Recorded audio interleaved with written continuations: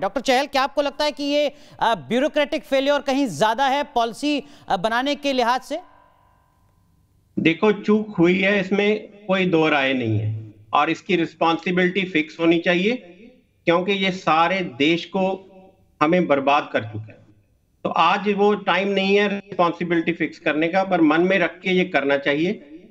और कितनी भी फैसिलिटीज़ ऐड कर लो, इतनी पॉपुलेशन में जब तक आप नई इन्फेक्शन कंट्रोल नहीं कर पाओगे सब कुछ कम हो जाएगा। जो अब हो रहा है नीजक रिएक्शन हो रहा है लिप सर्विस हो रही है। ऑक्सीजन तो बंदा दो मिनट नहीं रुक सकता। आप बात कर रहे हो तीन तीन चार चार दिनों से ट्रक भर रहे हैं सिंगापुर से टैंकर आ रहे हैं ये तो बड़ी लंबी प्लानिंग है। इंसान तो आज मर रहे हैं और रिकवरी रेट की बात कर रहे हैं लोग की रिकवरी रेट बहुत अच्छा हो गया। रिकवरी रेट किसी नेता के कहने से अच्छा नहीं हुआ। रिकवरी रेट बीमारी में ही अच्छा रिकवरी रेट है डॉक्टरों को पता है कि एक पेशेंट को चार, एक सिलेंडर से चार चार पेशेंटों को कैसे बचा रहे हैं? तो ये कहना कि रिकवरी रेट अच्छा हो गया इसमें किसी का हाथ नहीं है।